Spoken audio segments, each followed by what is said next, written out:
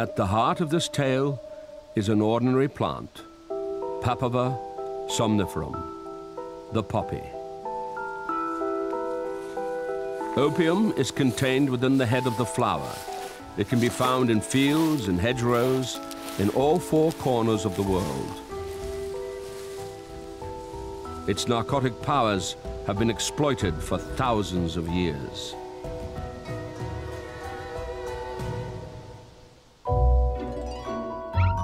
There's evidence that Papaver somniferum may have been cultivated as long ago as 4000 BC in the cradle of civilization itself, Mesopotamia.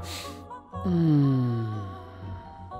In the early written records, the Sumerians referred to a plant they called Hul-gil, the plant of joy. In ancient Egypt, the Ebers Papyrus, an ancient medical text, recommends smearing opium on the nipples of nursing mothers to help small children sleep. In the Odyssey, Homer writes of those grieving for the relatives lost in Troy, and how Helen, the beautiful daughter of Zeus, pours a drug into the wine to lull all pain and anger and bring forgetfulness of every sorrow.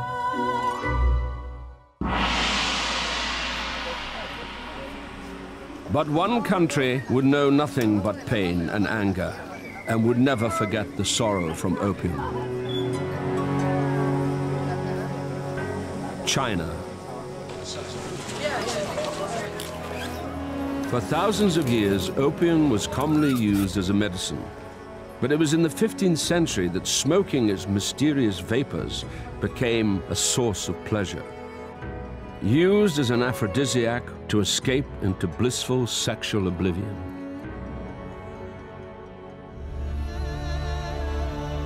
Yet with China's age came wisdom.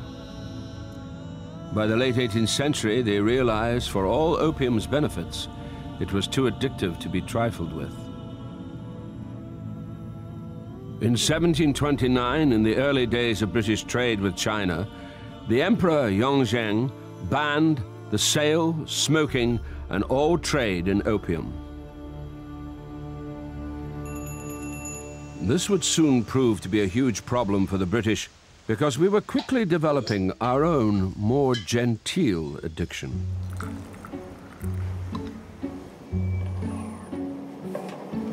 Thank you. Tea, the cup that cheers but does not inebriate. By the end of the 18th century, the British were already uh, leaders in the consumption of a nice cup of cha, importing six million pounds of tea from China a year. Now, tea was one of those small daily luxuries which the British absolutely counted on, and Guangzhou, back then known as Canton, was the only place foreign traders could buy tea in China. Mmm, that's so good. Thank you.